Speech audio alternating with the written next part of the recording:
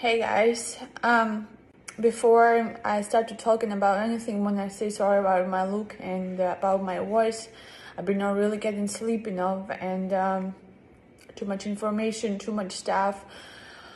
Um, I'm not feeling happy myself, but I feel like I need to make this video because um, I am one of not the many Ukrainian people who lives in US and have this huge following, have you guys and uh, guys, I just want to tell you thank you for all of the support which you're giving to me, what you're giving to Ukrainian people. They need your support the more as you guys can imagine. They need your support, guys. I will be posting soon how you can help the people, donate or something because guys, it's crazy stuff going on right there right now.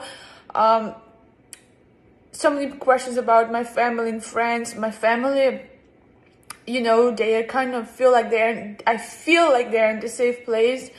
My friends, not 100% they're in the safe place, but I hope everything will be okay. They are, you know, it's just change everything in one day, everything change.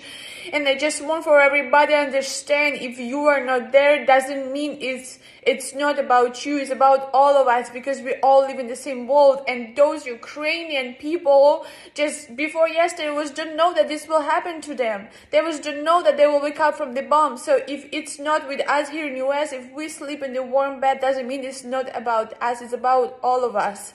So I'll be asking you guys who can help it wherever you can. What do, I don't know, to do whatever we can do to help the people over there they they guys they so scared. They're terrifying. My friends calling me. They're hearing the bomb. They're hearing the noise. They guys they go and sleep. Who goes to the bomb shelter to sleep? Somebody goes to sleep. My friend just called now. She goes to sleep. Sleeping in the parking lot. Just guys for explanation there's it's cold in ukraine now and parking lot is kind of outside and they're sleeping in the cold cement. From warm and nice bed to the cement. I can't imagine going around there with my baby and staying there to sleep under the cement on the metro and stuff like that.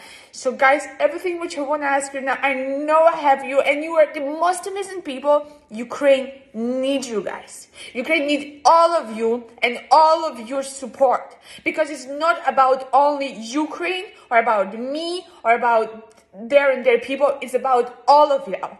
So I want to take all of y'all and for we all support them. I will be posting soon how we can support them, what we can do. Uh, pray for them right now. Pray for those people because they need that like never else.